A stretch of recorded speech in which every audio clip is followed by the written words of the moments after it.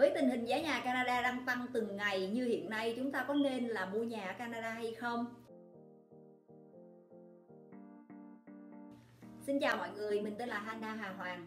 Mình lập ra kênh youtube uh, Nhà cửa Canada này là để mình có thể chia sẻ những cái kiến thức và kinh nghiệm của mình để mua một ngôi nhà ưng ý cũng như là đầu tư bất động sản hiệu quả ở Ontario, Canada trước đây mình đã từng là quản lý ờ, tài chính ờ, cũng như là có những cái bằng cấp về kế toán CPA và quản lý tài sản CFA bây giờ mình sẽ quay lại cái câu chuyện là có nên mua nhà ở Canada để an cư lạc nghiệp hay không?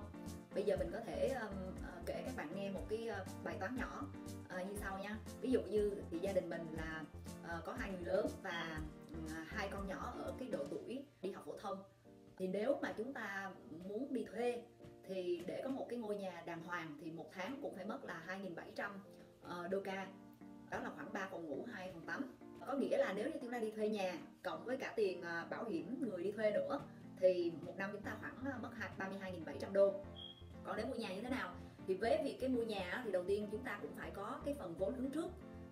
Ví dụ một căn nhà tương đương à, như mình đang nói thì nó trị giá trên thị thường khoảng 1 triệu đô thì ờ, với một triệu đô đó thì ờ, các bạn phải có cái tiền trả lần đầu là khoảng ba trăm rưỡi nghìn đô.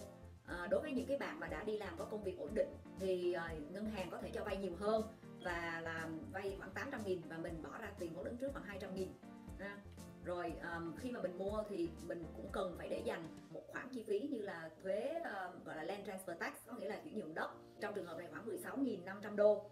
Đối với khu vực Toronto thì cái số tiền này sẽ nhân đôi lên. Tiền luật sư khoảng 2.000 à, cho một vài trường hợp cụ thể thì nó có có thể có uh, cộng trừ ở đây. Ví dụ như là nếu các bạn mua nhà lần đầu thì sẽ được uh, chính phủ trợ cấp cho chúng ta khoảng là 4.000 trừ ra trong cái tiền uh, land transfer tax đó, là 4.000 uh, nhưng còn đối với uh, những bạn chưa có PR hoặc người nước ngoài thì lại phải trả 15% bây giờ để cho nó đơn giản thì coi như là tổng chúng ta là bỏ ra khoảng 368.500 đô. Có nghĩa là ngân hàng cho chúng ta vay là 650 nghìn rồi với cái ờ, nhà đó thì một năm chúng ta sẽ đóng thuế tài sản khoảng 4.000 đô tiền bảo hiểm nhà cũng khoảng là 2.000 đô. À, tiền trả ngân hàng đây là ví dụ mình ờ, vay 30 năm ở cái lãi suất là khoảng 1,5% một năm. Thì uh, bạc tiền trả ngân hàng là 26.900 đô. Tiền bảo hành bảo dưỡng nhà cửa thì thực ra như nhà của mình thì mình chưa thấy là phải trả những cái tiền bảo hành bảo dưỡng nhiều. Nhưng mà một năm mình nên để dành ra khoảng đâu đó 3.000 đô để mà sửa máy lò sưởi vân vân. Rồi, như vậy có nghĩa là tổng số tiền phải trả hàng năm là khoảng đâu đó khoảng 36 nghìn. Nếu như ờ, mà nói như vậy thì ờ, các bạn nói ồ vậy là mua nhà là là tốn kém hơn đi thuê nhà. Thì các bạn nên nhớ là trong cái 36 nghìn mình đang trả ra đó, thì trong đó có khoảng 17 nghìn là tiền mình đang đóng góp để trả cho cái phần equity, tức là tiền tiền vốn của cái căn nhà. Cho nên là nếu mà trừ cái món đó trong năm đầu tiên thì cái chi phí mình bỏ ra khoảng là 18.600 thôi. Có nghĩa là thấp hơn cái tiền đi thuê nhà với những cái năm thứ hai thứ ba thứ tư trở đi thì khi đó cái tiền lãi suất nó sẽ giảm xuống. Nếu mà cùng một mức lãi suất ha thì cái lãi suất nó sẽ giảm xuống và cái tiền mình trả cho cái equity của căn nhà nó sẽ tăng lên. Cho nó chi phí à, với cái việc là mình có căn nhà nó sẽ thấp hơn chi phí đi thuê. Rồi bây giờ để mà xem xét giữa là thuê và mua thì mỗi người nó sẽ có cái uh, thuận lợi và nó có cái rủi ro riêng. Ví dụ về mặt thuê nhà thì thứ nhất là thuê nhà mình rất là linh hoạt, mình có thể đổi chót đổi ờ, thành phố. Ờ, không thích mình chỉ cần báo là trước ờ, 60 ngày là có thể di chuyển được.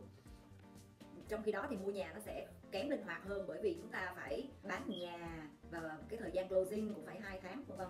Nhưng mà giờ thì các bạn cũng biết là đang là thị trường của người bán, cho nên là cái chuyện mà bán nhà nó cũng dễ dàng hơn, nó không khó quá rồi uh, thứ hai là về cái khả năng tăng giảm thì mình đi thuê. Thì cái chi phí thuê thì thường là nó sẽ tăng lên. Ừ, trong khi đó thì mình cũng không có được hưởng lợi gì từ cái chuyện mà giá nhà tăng lên cả. Trong khi đối với mua nhà thì các bạn thấy gần đây á, là giá nhà của Ontario trong năm 2022 tháng Giêng nó đã tăng hơn 32% và giá thuê của Toronto thì cũng tăng khoảng 10% rồi ờ, hồi nãy mình cũng có nói là nếu bạn đi mua nhà các bạn phải có cái vốn ban đầu đó. nhưng mà nếu những cái bạn mà mỏng vốn hơn thì các bạn có thể mua cái dạng nhà gọi là nhà dự án reconstruction. Mình có cái thời gian để mà mình đóng tiền vô từ ngoài ra còn có những cái rủi ro và những cái trở ngại khác.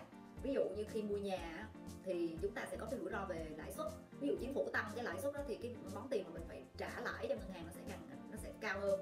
Còn đối với các bạn mà đi thuê á, thì ờ, thì có thể cái mối quan hệ giữa chủ nhà với chúng ta ví dụ ờ, không được tốt hoặc là chủ nhà cần lấy lại để ở chẳng hạn, thì chúng ta rất là kém chủ động. Như vậy là mọi người có thể xem xét cái tình hình của mỗi người để mà tìm ra một hướng đi phục vụ cho việc an cư của mình rồi. Hẹn các bạn ở cái clip sau để mình có thể chia sẻ thêm về cái chuyện mà nếu chúng ta mua đầu tư ở nhà ở Canada thì sao ha? Các bạn có thể bấm like, follow hoặc là để bình luận ở dưới để báo cho mình biết là các bạn muốn mình có thể chia sẻ thêm về những cái đề tài gì. Cảm ơn các bạn.